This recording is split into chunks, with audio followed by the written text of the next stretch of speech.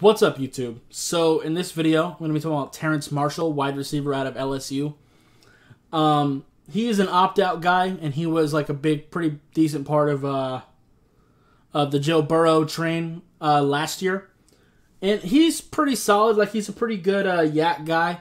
Uh, you can throw it to him, and he'll run somebody over and get some yards for you.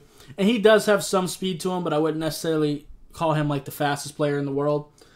Um, and he can be a pretty decent deep threat because he is six foot and 200 pounds and has some speed, so he can be an okay deep threat for you. Um, he plays a lot of slot, I notice, which is actually kind of good because I'm starting to like taller slot receivers. Because if you're gonna have short ass nickel corners, like if your nickel corners are nickel corners because they're smaller and they're not as athletic, give me a fast, big ass dude in the slot to just throw it over his head. I'm liking that that little train that NFL offenses are starting to go on to. Um, so I like that matchup.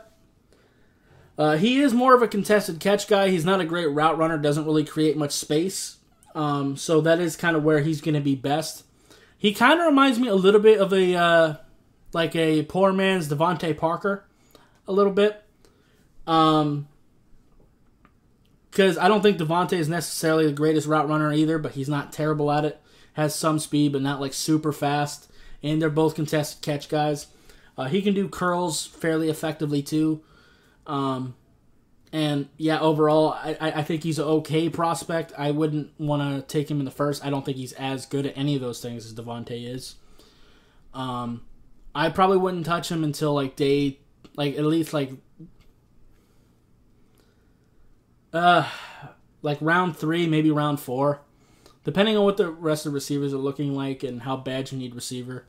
It just depends. I I know for the Dolphins, I don't really want him because we have DeVante Parker, we have Preston Williams, uh, we have three tight ends we're we feel pretty good about. So I don't really want more contested catch guys.